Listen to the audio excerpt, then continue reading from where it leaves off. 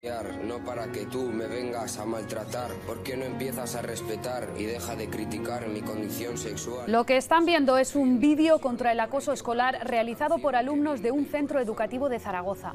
La canción también ha sido compuesta por ellos. Este trabajo les ha valido el primer puesto en un concurso de ámbito nacional. Va al colegio con miedo, gritando en silencio que le ayudemos. Se queda callado mientras su mente va pensando. Estamos muy contentos sobre todo por, eh, por el esfuerzo y, y el tiempo que han dedicado los chicos a, a esta, a esta causa. Eh, la verdad es que la iniciativa nos pareció muy interesante y decidimos eh, bueno, introducirla como, como una actividad pedagógica más dentro de- del desarrollo de las clases. El proyecto en sí, lo que es la canción y tal, pues me gustó bastante porque es así un proyecto con la clase, como para unirnos un poco más y todo eso. Y está bastante bien. Y lo de concienciar a la gente de que el acoso, está, eh, el acoso escolar pues está mal, pues está bastante bien, la verdad.